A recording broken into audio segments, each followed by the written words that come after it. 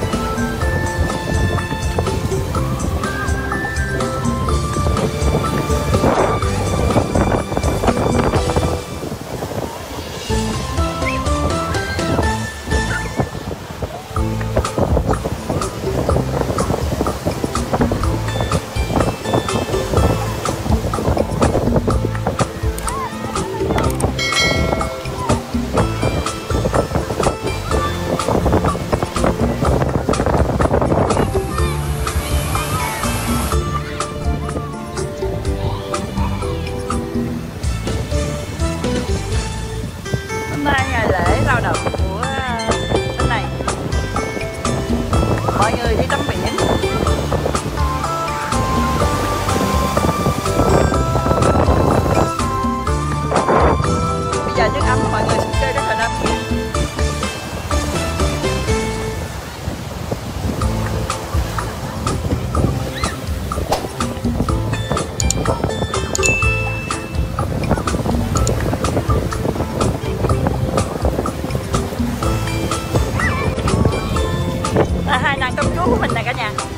hai nàng công chúa của mình đang chơi cát này cả nhà.